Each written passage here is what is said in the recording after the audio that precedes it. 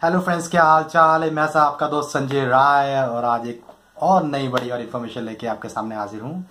आज हम बात करेंगे नोटरवाइज डॉक्यूमेंट्स के बारे में, ये क्या होते हैं, कहाँ से ये नोटरवाइज कराने होते हैं, और all the procedure so let's begin without wasting any time so friends notarization of document क्या होता है? नोटराइज डॉक्यूमेंट्स वो होते हैं जो एक, उसके ऊपर एक सील लगता है। सील से ये साबित होता है कि हाँ ये डॉक्यूमेंट्स जो है बिल्कुल ओरिजिनल है और वो डॉक्यूमेंट्स आप कहीं पे भेज सकते हो। ओरिजिनल मीन्स कि मान लो कि आपके पास ओरिजिनल डॉक्यूमेंट्स है और उसकी एक फ़ोटो कॉपी सेट है। तो आप क्या करते हो, आपके टेंथ ट्वेल्थ या ग्रेजुएशन या जितने भी आपके सर्टिफिकेट्स हैं जो आपसे रिलेटेड है ओके वो आप लेके जाते हो कचहरी में। कचहरी मीन्स कोर्ट कोर्ट या लोकल कोर्ट मैं जलंधर से था तो मैंने लोकल कोर्ट में अपने तो लोकल वकील से नोटराइज कराए थे।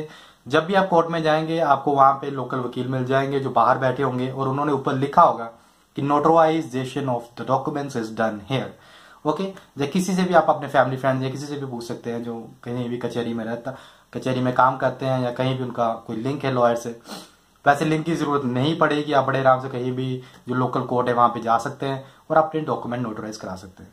आपकी स्क्रीन पे शो हो रहा होगा। ये देखिए, मैंने जो डॉक्यूमेंट आ रहा है इसमें इसमें आपको दिख रहा होगा कि ये डॉक्यूमेंट के ऊपर एक सील लगा हुआ है और वो सील पे लिखा हुआ है वैलिड या कुछ ऐसा लिखा होगा या नोटराइज डॉक्यूमेंट लिखा होगा या फिर कुछ ऐसा लिखा होगा कि वैलिड एनी ओके तो एक स्टेप सा लग जाता है।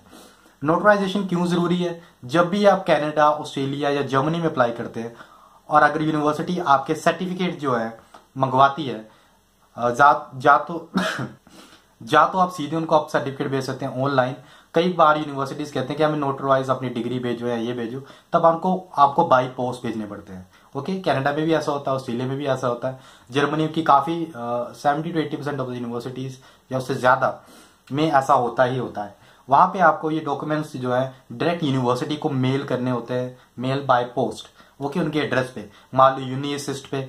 ओके वो नोटराइज डॉक्यूमेंट मंगाते हैं। उनको आपको टेंथ ट्वेल्थ आपकी एक्सपीरियंस सर्टिफिकेट आपकी ग्रेजुएशन सब कुछ नोटराइज करके भेजना पड़ता है एक सेट तो उनको पता लगता है कि हाँ ये एक ओरिजिनल की कॉपी है और ये आ, ये जो सर्टिफिकेट्स हैं ये वैलिड सर्टिफिकेट है ये रियल सर्टिफिकेट्स हैं.